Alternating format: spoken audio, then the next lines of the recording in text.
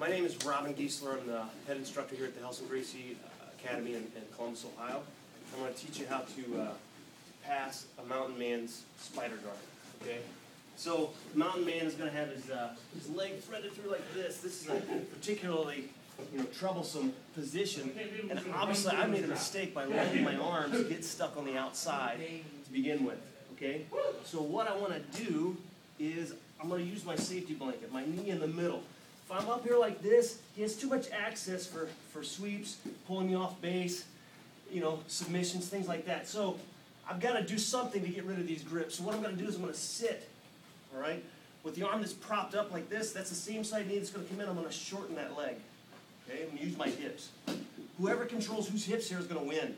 So once I do that, I'm going to kind of drive in a little bit. Not too much to lose my balance, but enough to where I can swim this arm through and that's how I'm going to strip the grip here. All right?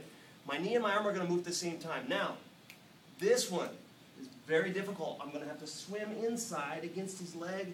I'm going to push down to strip that grip. At the same time, I'm threading inside this one and pushing it through with my knee. I'm going to hook his head. Now, if we can turn this way, you can see when I strip this grip here, all I'm doing is I'm taking this hand, I'm stuck, I'm putting it here against, bring, bring the hand on the other side, okay? Taking this hand here, and I'm going to drive it straight down towards the ground. It's an incredible amount of pressure, and I'm using the leverage against his own leg. Once I've got that, I'm going to grab his belt, so I keep his leg bound up. The shorter that is, the weaker it is. So I'm going to hold onto that, get it nice and tight. My knee is going to go to the ground here. At the same time, I'm going to hug his neck. Once I've got this control, my knee's on the ground, I'm going to step this leg back in base here. And then switch my position.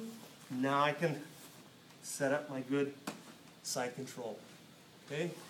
So, if you ever encounter a mountain man with a good spider guard, that's your technique.